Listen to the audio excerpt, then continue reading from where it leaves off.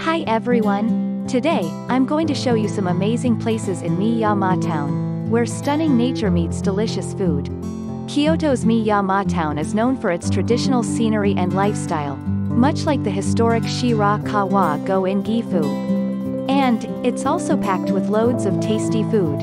Let's dive in and enjoy it together.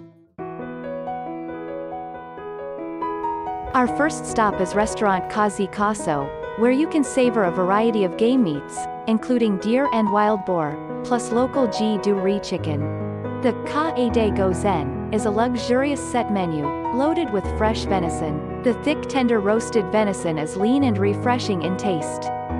This dish, called kuwayaki, is grilled venison with a superb sauce that perfectly matches the meat.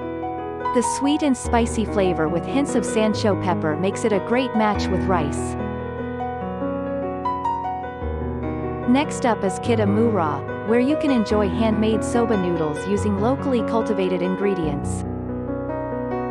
This is the luxurious ten mori soba, homemade, hand-cut soba that comes with a delightful combination of vegetable and chicken tempura.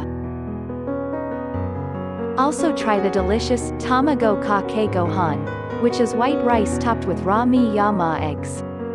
You'll love the blissful harmony of flavors in every bite.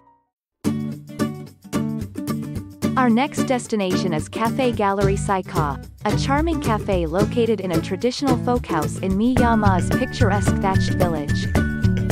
Their Kibikobo Dango set comes with three colored dumplings, coffee jelly, and Miyama milk soft serve, making a delightful sweet treat. Each dango has its own unique flavor, and the chewy texture is simply irresistible. The Miyama milk soft serve has a perfect balance of sweetness and richness from the milk. Enjoying it alongside the picturesque Miyama landscape makes the experience really special. Our final stop is Cafe Milan. It is a unique cafe and egg shop where you can enjoy special puddings found nowhere else. The simple yet delicious Milan pudding creates a perfect balance with its rich egg flavor and a slightly bitter caramel. Their gelato, made with Miyama milk, even has a Japanese twist with a black bean flavor.